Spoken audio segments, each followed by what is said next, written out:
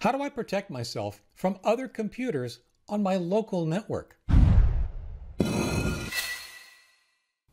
Hi everyone, Leo Notenboom here for AskLeo.com. Let's dive right into the question. We're a family where the adults use the internet for serious reasons, but we can't take a chance on having our children screw things up, intentionally or by accident. How should we set up our home network? This is actually a very, very good question. It's something that I think a lot of people don't think about and perhaps take for granted.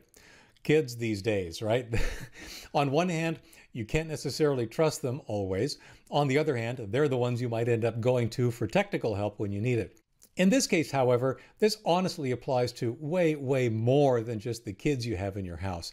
It applies to any of the devices or visitors you have in your house that you might not trust. So let's take a look at what it means to trust something. We're going to group our technology into, I'll call it three buckets. The first, of course, are the computers you trust. These are the ones that you either have control over, you know that security is set up properly on, um, and of course, you yourself use in a secure fashion. It would also include the computers of others in your household who you feel also fall into that same category.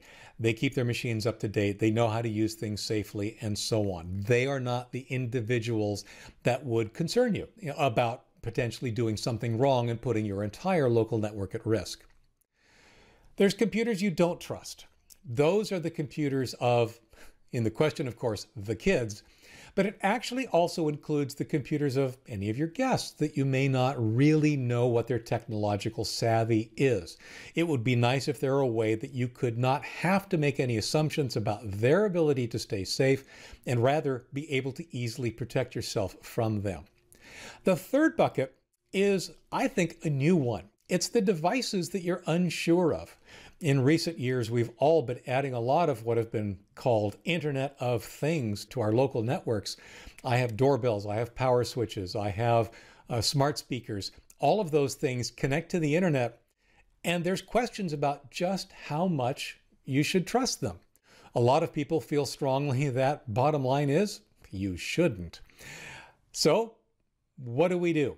Well, there are a couple of ways depending on the hardware you have available to you and just how smart that hardware is. The first, and honestly, the one that I recommend as your go to solution if you do nothing else, is a router that supports what is referred to as guest access.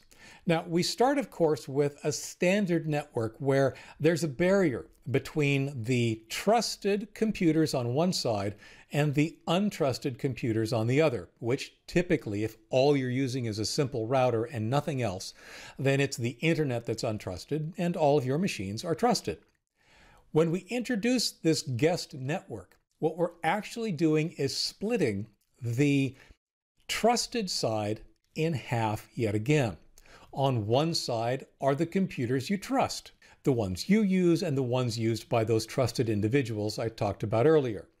On the other side is this guest network that is automatically created by your router, but isolated from the devices on your trusted network. Now, the downside here, besides requiring a router that supports this, is that guest networks are typically wireless only. So if you have wired devices that you don't trust, this may not be a solution. But it's perfect when the kids have Wi Fi or your guests are coming over and simply ask to use your Wi Fi.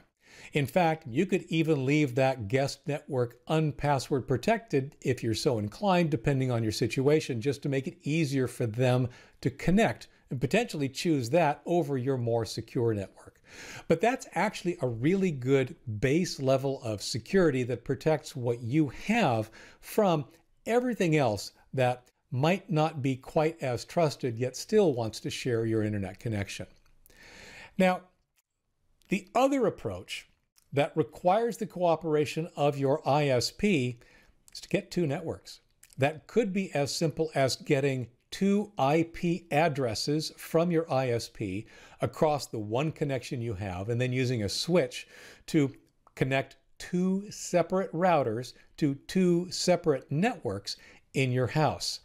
One network would be the fully trusted network, and the other network would be the untrusted or less trusted network. That could be wired, it could be wireless, and it could provide you with all of the same security we talked about in that guest network scenario. The two networks do not see each other. They simply don't. They are completely isolated from one another and therefore protected from one another.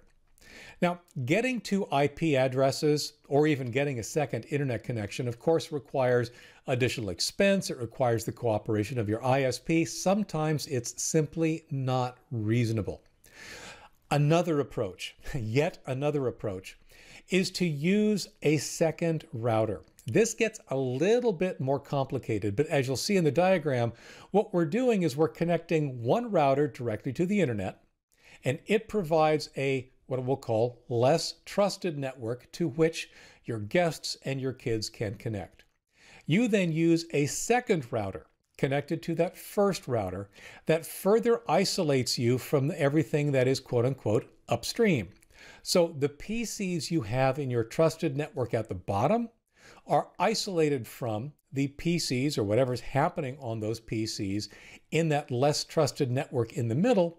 And of course, everybody's protected from all the havoc that's happening over on the internet. Now, that is probably, I don't want to say the most pragmatic solution, but it is a solution that a lot of people gravitate towards because they often have a second router. And the other solutions of getting a new router that supports guest access to the degree they need it supported, or coordinating something with their ISP is just out of the question. Now, I do have to talk a little bit about the Internet of Things, all those devices that I talk about that we really just don't know how secure they are. We'd love to be able to assume that they're secure. But in recent months, recent years, we've learned that that ain't necessarily the case. The recommendation from most security experts is that you separate them out on their own network. That can be a guest network, it can be an untrusted network, as we've set up already. And honestly, do you really need them? I don't necessarily mean the things you actually use. I use my smart speakers. I use my smart doorbells. I use the smart light switches I have installed but I have them on the less trusted network. What I mean by do you really need them is smart TVs. My smart TVs could be connected to the internet. They're not. There's no reason for me to have them connected to the internet because I don't use any internet enabled features on those devices. Why connect them if that connection isn't going to be used? In fact, why connect them if that connection could be misused somehow. So think carefully about what devices you have that connect to the internet. Think about whether they need to be connected to the internet. If they do, consider whether connecting them to an untrusted network would be sufficient, because if it is, it's much safer. And absolutely think twice about connecting them to your trusted network if you have to, for some reason, you may need to take some additional steps, like making sure your own computer's firewall is up to snuff. For more on this topic, for more background information, for the diagrams that you've been seeing, for updates, for related information, for comments and more, visit askleo.com slash 3505. I'm Leo Notenboom. This is AskLeo.com. Thanks for watching.